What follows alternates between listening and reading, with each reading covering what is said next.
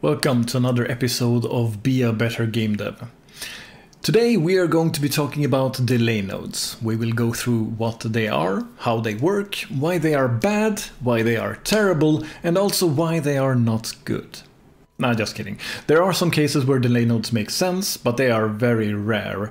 So delay nodes can cause a lot of problems. So what we will be doing is we will be looking at some bad use cases, some solutions to better approach these use cases, and also in the end mention some reasonable situations where delay nodes, de delay nodes can be useful. So let's check it out. Okay, so let's talk about the delay node. What is the delay node? Well, the delay node is a node that you can call that has an input of an amount of seconds that you want to delay to happen. After the delay has finished, it will continue to execute whatever code it has to the right of it. So this is something that stalls your code and refuses to execute anything else until the delay has passed.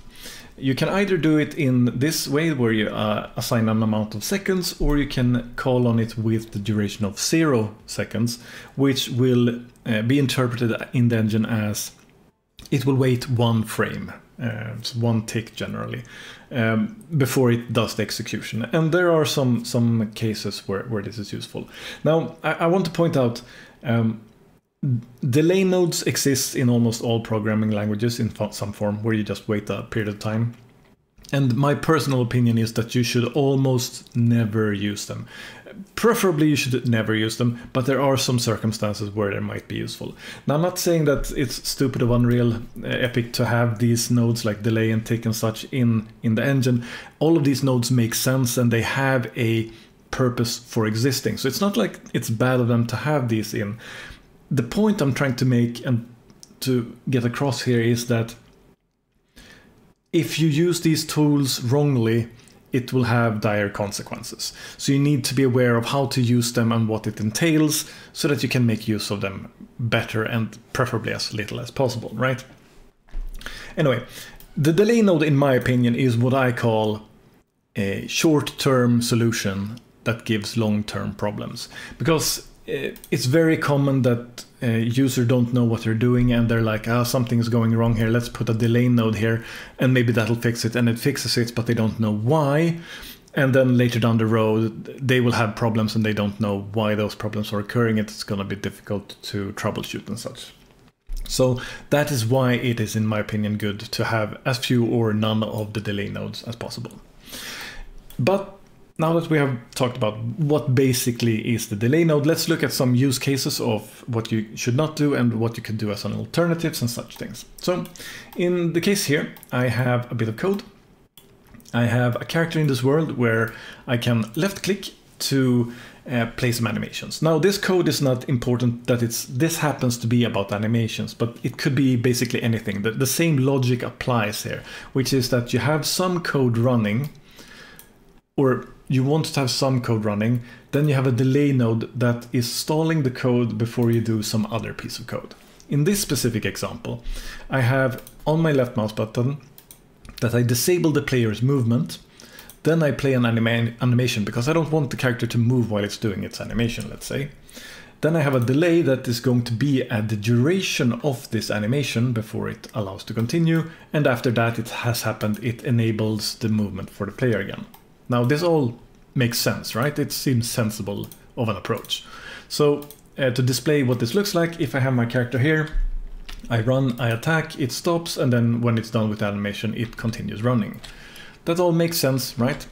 The problem with this is that, and delays like this, is that it creates an unresponsiveness. Um, in this specific instance where we have animations, we might want to have it being cancelled for some reason. Maybe our character gets damaged and that should interrupt the animation. Maybe some other cause could cause the animation to stop, right? And to simulate this, I'll put a, a right click here that will allow us to interrupt the animation. And that's the only thing that it will do. So uh, also you can see that I have some text here that's essentially giving us some feedback about what is happening. So now I click the animation interruption button and then it runs that code. So if I run my character now and I press my attack, you can see it disables the player and then enables the player. But what happens if I start attacking and then interrupt it immediately? Well, you can see the animation stops, but the character is still disabled. this creates a very unresponsive feel for the character, right? Because it will never give me back my control of my movement until the delay has finished. So, what is a better approach to using delays in these kind of circumstances? Well, if we take this left mouse button event and move it over here, we have something very similar over here. Over here, we're disabling the movement again. We're playing an animation just like before, but instead of using a delay, this is my preferred use for delays in every case, essentially. Always use timers instead of delays, because I feel delays have almost no uh, existence uh, where it's actually useful, except for a few, which we'll talk about a little bit in the end. But essentially, it's running a timer here by an event uh, for the same duration, meaning that at the point where the the time has passed here, this event will call and we can say, okay, give back our movement to our character. To be able to say that this event should stop prematurely, we also need to have a uh, reference to the timer itself, so we can cancel it once this event has been running.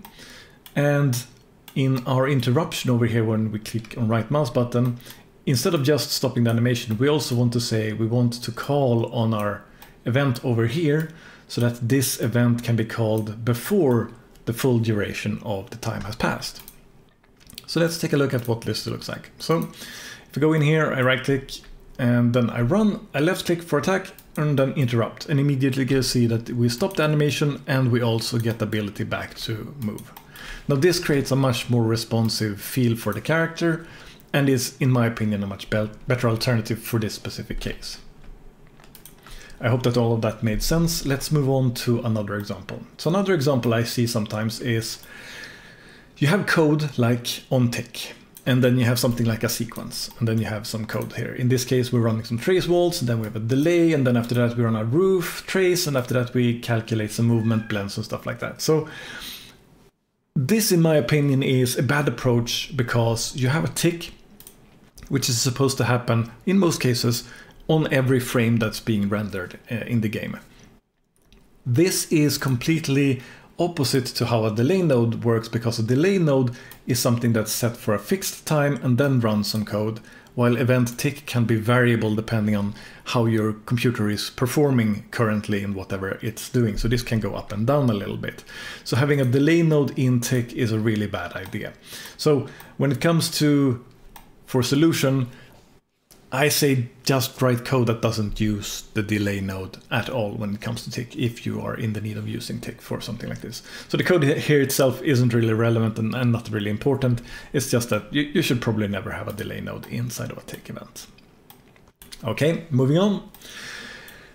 My next example here is of something that happens usually uh, when you have initializations working, but it can be something that uh, is happening for other reasons as well. But that is essentially it's in this case we have a begin play for a character where we set up some uh, things. In this case, it's not really important. It's setting up the HUD so I can show the messages for you on screen and such things.